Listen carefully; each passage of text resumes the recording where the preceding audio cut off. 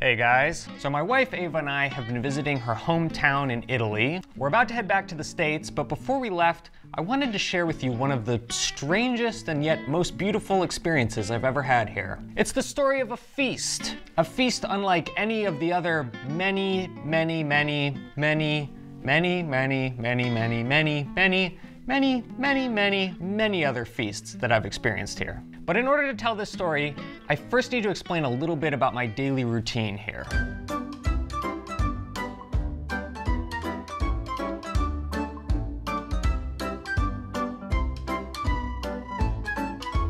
So I'm usually the first person to wake up. After heavily caffeinating myself, I walk up the street to the gym. Well, it's not really a gym. Desad doesn't have a gym. My gym is a house. Sort of.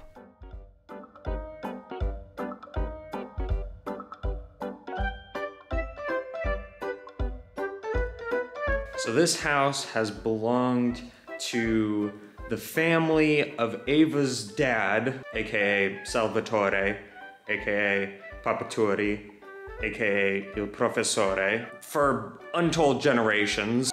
I hate to use the word abandoned to describe it, but no one has lived here for a very long time. The house mostly serves two functions now. First of all, it's where I work out in the morning, and secondly, it's where Papaturi conducts his culinary experiments.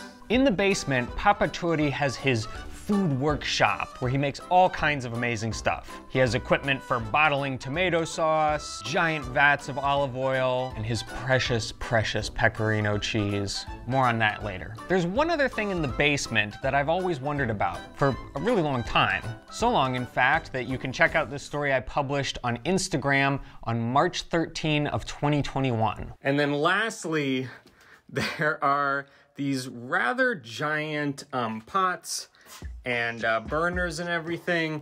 And I've been told that soon I will see what those are for, uh, but I don't really know yet, so stay tuned. I never got my answer as to what the big pot is for. Now, I've seen similar pots used here for things like making ricotta, making tomato sauce, even making enormous quantities of pasta, but Eva always insisted that this pot was for something else. I hadn't thought about the pot in a really long time until one day, my morning routine was suddenly interrupted by the appearance of Papaturi himself. He said he was going to go to the gym with me, I had no idea why, but I was right when I guessed that he wasn't looking to work out. Turns out he had been up already for quite some time assembling an enormous quantity of meat. My ability to speak Italian is definitely improving, but I have to be honest that before the coffee kicks in, I'm pretty much useless. I didn't understand a word he was saying. When you watch this next clip, imagine my face just being like... Allora, la prima cosa che bisogna fare, lavare adesso il grasso e mettere sul fornellone mettere sul fornellone un po' di acqua calda e poi mettere subito il gas per farlo cuocere. That's when we heard the sound of a vehicle approaching. Buongiorno Johnny. Good morning. How do I describe the kind of person Johnny is? Cosa bevevano i nostri nonni? Vino, vino, vino, vino. Cosa bevevano i nostri padri? Vino, vino, vino. E noi che figli siamo, beviamo, beviamo. E noi che figli siamo, beviamo, beviamo, beviamo. Eh! Sette e mezza. Eh, sette e mezza. E a che ora ci dobbiamo arrivare a Peppe? Oh, I quickly need to explain that when I'm in Desa, my name isn't Harper, it's Giuseppe, or Pepe for short. That's a whole other story for another time, but just know that in the rest of the video, I'm Pepe. E a che ora ci dobbiamo arrivare a Pepe? No. Eh, siamo tre, tre, tre, minuti, tre minuti, tre minuti. No, no, tu avanti arredo. No, no. eh, un grasso di un piano. Allora, cominciamo con un grasso. Eh.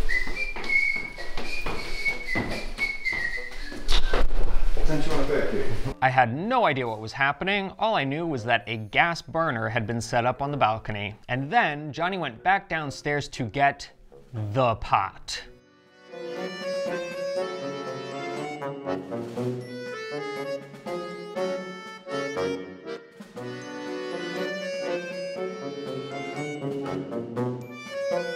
About the time Papa was filling the pot up with water, Eva finally showed up.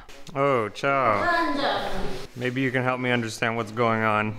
Gianni, tu piace che è? No, Eva didn't at all help me understand what was going on. She just rolled up her sleeves and got to work. This is uh, fat. it's all fat and now needs to be washed. though. And who will wash? Professor, mentre tu hadal. Kom a kumara. Me?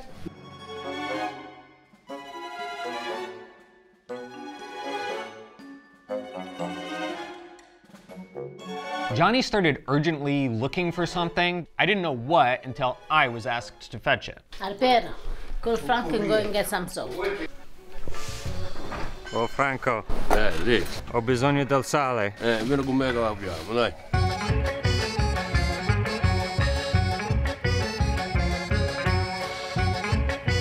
Oh, Franco is Johnny's brother.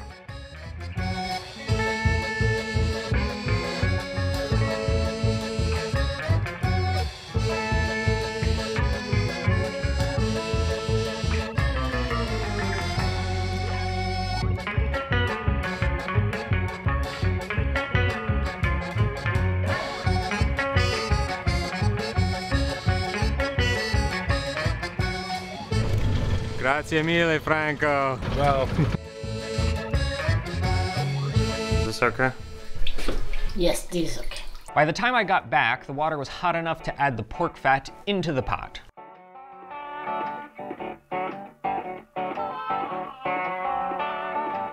So what? Can you just sort of what what what happens? What's happening? It's happening that the first thing, first step is to put the fat that we washed in the hot water. So it start to boil and then create the sauce for our meat. Now, I have a little disclaimer to make. The food you are about to see is not for the faint of heart. It is not made to be pretty for a Food Network segment. It also might not look like much, but in the words of Johnny, Che loro vedono il filmato, però non sentono il gusto. Ah. so stick with me, it's worth it. Now Eva went back inside to keep washing meat, this time pork skin. We have all, we know also which pig we are going to eat. The name of this is frittoli. Frittole. Wait, like Frito Lays? The frijoles. No, Frito Lays. I don't know what it is. Ribs? The same. Ribs. Are we basically just going to cook an entire pig today? More or less. Now, what is the leftover of the pig? Albert, this is the way in which in Calabria we use part of the pork, pig, that usually goes to waste. But because we don't like to waste anything, we cook them. I see. So this is like these are like the rib bones, but stripped of meat. Yes, with just a little bit of meat. Because uh-huh. thinks that this should be the leftover of a pig after you made the salami, the prosciutto, and all the rest. Johnny then told me that what I was seeing was actually a very scaled down version of whatever this was. Il mestolo era grande così e allora giravano, giravano, parica, oppressori, parica, aveva una canoa come giravano, aveva una canoa. Then Eva's mom, aka Mama Rosa, showed up. Cos'è? Pane. Ah, Hai visto? sì.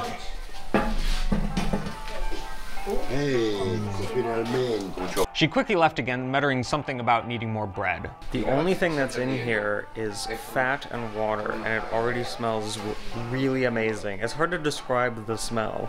It's quite enchanting, though.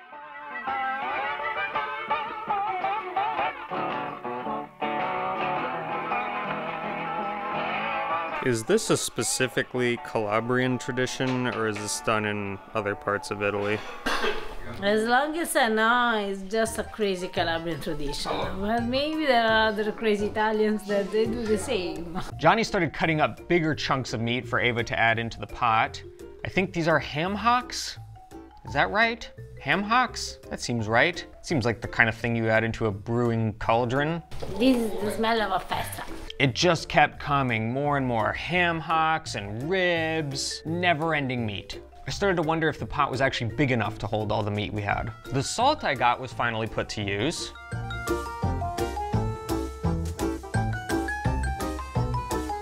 I started to worry that I hadn't bought enough though.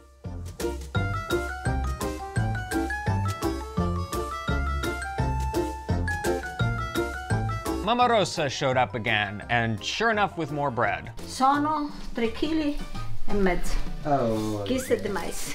che cazzo ha fatto? Eccolo qua. Chi sei di mais? Un chilo di mais. Meanwhile, Johnny was prepping the pork skin. Allora cosa? Perché non tutte le ciambelle riescono col buco. Ecco, ecco.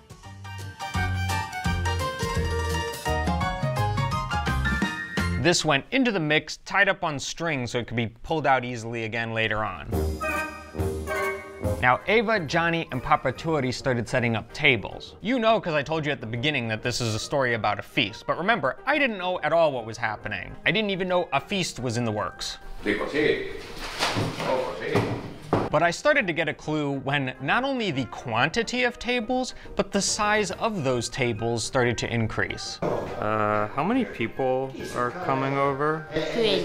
20. 20. I really shouldn't have been too surprised because big feasts tend to happen at least once a week, usually for the Holy Sunday lunch. You can see why I work out every day here. Speaking of which, before we kick off the feast, a quick word from today's video sponsor. When it comes to sticking to our fitness goals, we all want to be disciplined and motivated all the time. That's hard, particularly when you have things in your life going on out of the ordinary. Like maybe you're traveling and you have a very unideal place to work out makes it hard to keep going. That's why Eva and I love Future. Future is a new fitness app that pairs you with your very own highly credentialed fitness coach. Depending on your individual goals and needs, they'll come up with an entire custom workout plan for you. They'll monitor your progress, they'll make sure it fits with your schedule, and most importantly, they'll keep you accounted and motivated. I've never given up on a workout since signing up. I've already talked on the channel about my trainer, Tyler, and I told him, look, I'm gonna be in Italy for a little while. I don't have a good space to work out in. I have very rudimentary equipment. I'm also going to be living with Mama Rosa, whose entire goal in life is to fatten me up. What can you do? He came up with a special plan tailored just for my needs here. It's all centered around being able to use very limited equipment, no matter what kind of equipment you have access to, whether it's an entire fully stocked gym or absolutely nothing at all. Futures coaches can work with you and make sure that you meet your goals. Eva and I can't recommend Future enough. We're both paying customers. We love it. If you want to give it a shot, totally risk-free, you can get your first month for free by going to tryfuture.co slash pastagrammar. First month for free, I promise you'll love it. A big thank you to Future for sponsoring today's video. With the table set up for 20 Italians, we mostly just waited around for the meat to cook. To pass the time, Papa Turi decided it was time for an aperitivo of his beloved, beloved cheese. You need to understand that this cheese is his pride and joy. He buys these wheels of fresh pecorino cheese from the local cheesemaker, and he seasons the outside himself with pepperoncino and olive oil, and then he ages them until they become insanely strong. It's like the jet fuel moonshine of cheese. He only makes a few wheels every year, so it's only on very special occasions that he breaks some out. You have to make a Mouse, no? Mm-hmm. Usurici. Mickey Mouse, non è usurici. In America Mickey Mouse non è usurici. Eh, mi faccio una rapina. Io faccio a Mickey Mouse. Mm, Va bene. on è buono quello. Si sente poco. Mm. It is quite simply the best cheese I've ever had in my life. As we all know, an aperitivo isn't complete without a drink. Osi, osi, osi. Hoi, hoi, hoi. Ok. Allora, io osi, osi, osi. Hoi, e tu hoi. hoi, hoi, hoi, hoi. Allora, osi, osi, osi. Hoi, hoi, hoi. Osi, osi, osi. Hoi, hoi, hoi. Ah, saluti. Although it needed to cook longer, it was finally time to start tasting the meat.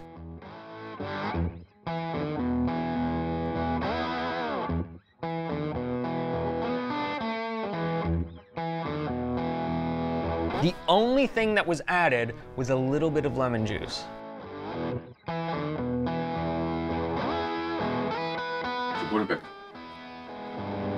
È buono.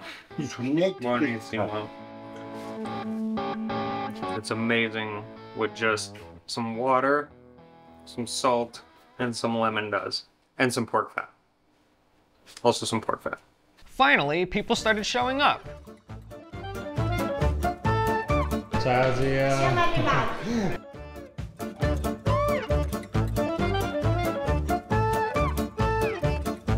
Most of the guests brought either more food or alcohol, or some combination of both. Cos'è? Eh, gin, vodka, brood, brut, eh, spritz, aperol, chiode di garofano. And hardly any of them could wait to start eating.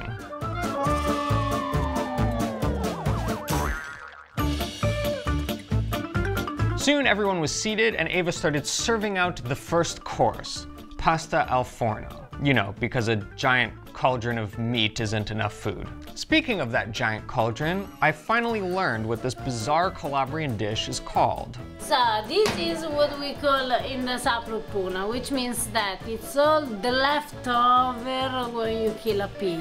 And then we boil them for a long time. And just with a drop of lemon, we eat and we enjoy. And this is a traditional dish that we make every time that we kill a pig. The meat was served just as it was. No sauce, no condiments, just meat and lemon juice. I know that probably a lot of you are scoffing at such a simple dish. I would have too, until I smelled and tasted it. E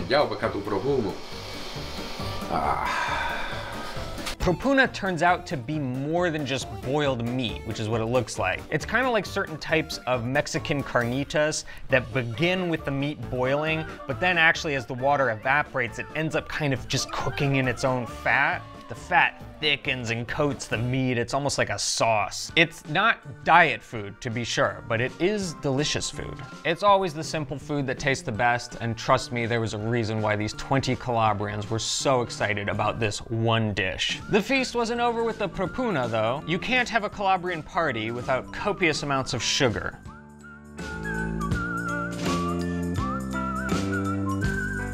There were madeleine, nacatole, which are these fried Calabrian cookies. There was some kind of choux that was stuffed with like a lemon cream, really delicious. A pistachio panettone for good measure, and my personal favorite, cannoli.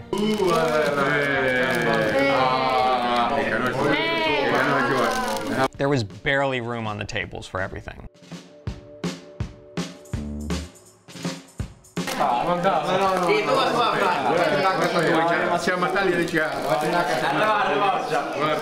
Now, some attentive viewers might have noticed that despite the fact that this whole pruppuna dish is meant to use leftovers, there's still quite a bit of stuff in that pot. After everyone ate, the second round of cooking began.